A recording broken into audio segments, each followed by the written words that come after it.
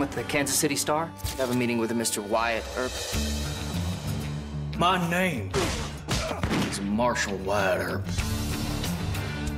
My destiny was laid out for me, but would protect those who couldn't protect themselves. Always with your duty, Wyatt. Dora wasn't just anyone. One night would change everything.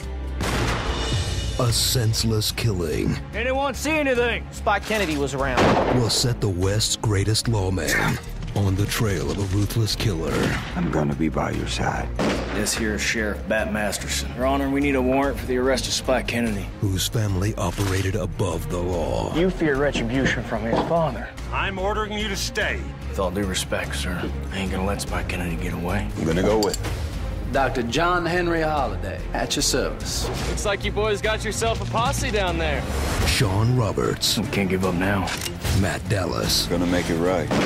Trace Adkins. My God, what have you brought upon us? And Val Kilmer. That's what we set out for. No turning back.